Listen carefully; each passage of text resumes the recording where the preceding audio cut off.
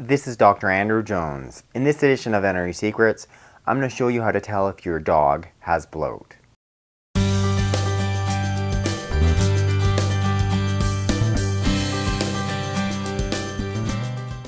Bloat is one of the most serious health conditions that can affect your dog. So it's really important that you understand what it is, um, what you can do to prevent it, the clinical signs associated with it so you can quickly recognize that potentially bloat is happening within your dog and then you're taking the appropriate emergency action. One of the big things I want to stress with you guys is just how quickly this can happen. When the stomach dilates, it twists, it, the stomach loses its blood supply, you get all those serious secondary signs of shock, including potentially even cardiac changes. I mean, it happens so, so quick. You really need to be on it in terms of recognizing this is what my dog has and then immediately going to your veterinarian. Bloat itself, it's most often seen in our large, deep-chested dogs, you know, such as my dog Lewis here.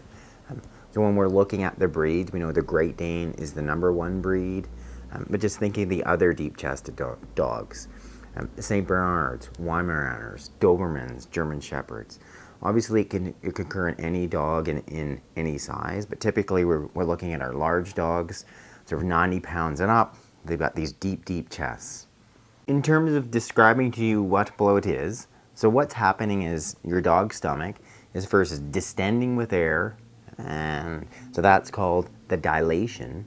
And then in some cases, it's also twist, and that's called the volvulus or torsion. So that's why it's known as GDV, gastric dilation and volvulus. The first thing I want you to do is then just look at these next two slides. One is showing an x-ray. We've got a quite air-filled distended stomach, which is what you often see um, involving an x-ray and bloat. And the second one is actually showing you the anatomy of there's a normal stomach sitting in your dog's belly, then how it looks like when it dilates and then twists. So when the stomach dilates and then twists, I mean, a couple of big things are happening here.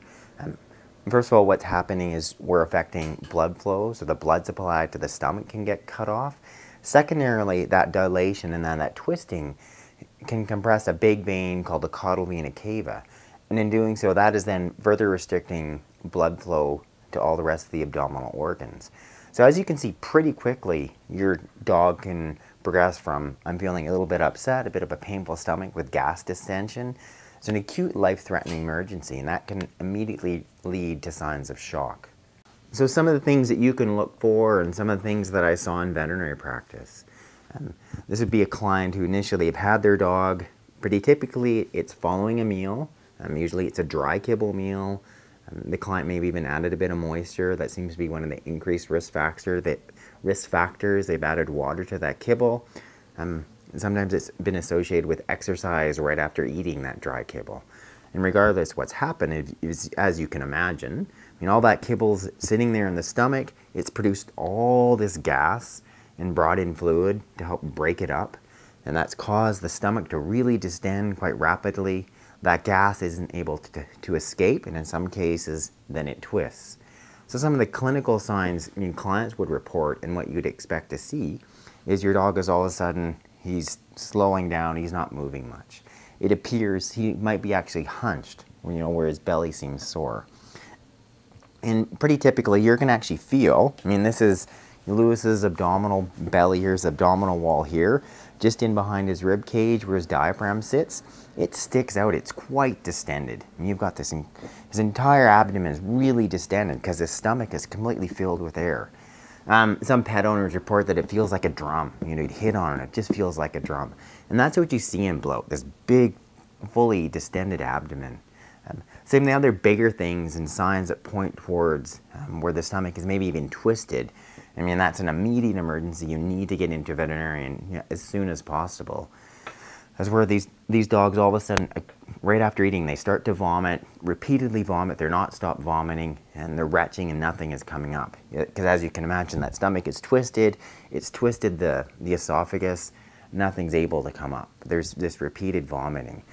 Um, their heart rate can go up. Their gums can become either pale or sort of grayish. I mean, clinical signs that we're all often seeing in relating to shock. They're going to be drooling um, signs related to abdominal pain. But it's very painful. It happens all of a sudden. You see this really big distended abdomen. they're sort of hunched over. All those signs sort of, anytime you're going to see all those different clinical signs in that picture, especially if it's happened all of a sudden, you really need to be thinking of bloat and you need to be having immediate emergency veterinary care.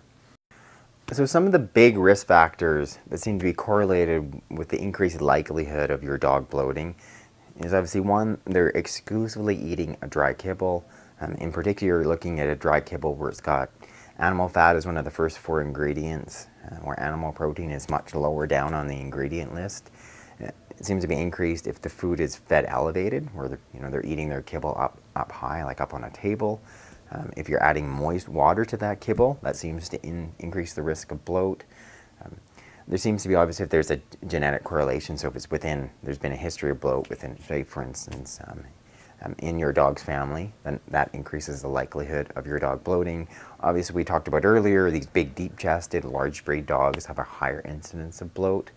Um, and obviously, there seems to be a correlation. Um, either one, if you restrict water before or after, immediately after eating, um, and if you're feeding like just one big meal, far, far better to break it up. So you're just going to feed multiple uh, meals throughout the day as opposed to, you know, one big, big serving of kibble. But some of the things that seem to decrease the likelihood of your dog bloating um, are one, if, if you are feeding kibble, you're looking at animal protein as one of the first four ingredients. Animal fat way further down on the ingredient list.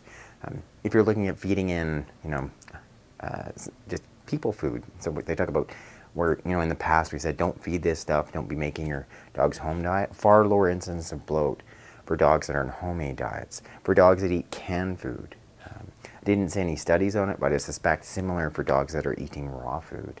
And it's that, that dry kibble which seems to be the biggest correlation um, of all, of all the different things. So two specific things then to think of. One, you could look at just some gentle exercise, you know, get your dog outside, walk him on a leash, get him moving. I mean, it's something um, we're always talking about for colic and horses. Getting that horse walking moving, get your dog walking and moving. Because in doing so, we're getting that you know, food that's within that stomach to start moving its way through the stomach, out of the stomach, into the intestinal tract, which is what we want. We want that food, that fluid, that air to start moving its way through. So just gentle exercise and walk, moving your dog, walking your dog around, that will help.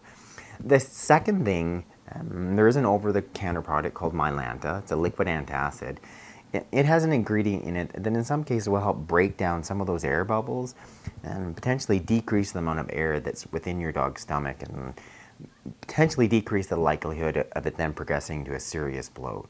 Um, so you're looking at a Mylanta dose of about one tablespoon per 10 pounds of body weight.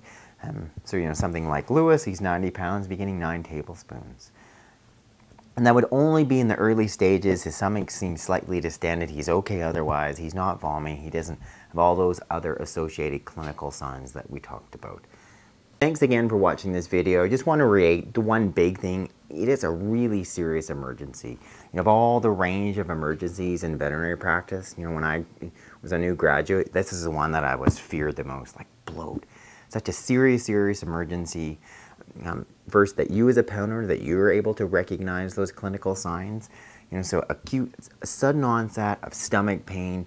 Your dog is sort of hunched up, this big distended abdomen. He's drooling, he's nauseous, he's potentially repeatedly trying to vomit and nothing's coming out big, big, the big warning light should go off. I think my dog, dog has bloat. Thank you for watching this edition of Veterinary Secrets. What I want you to do now is first click that link in the box above. That can subscribe you to my channel and you can go ahead and click that link in the box below and I can send you my free books and videos on how to heal your dogs at home with my top natural remedies.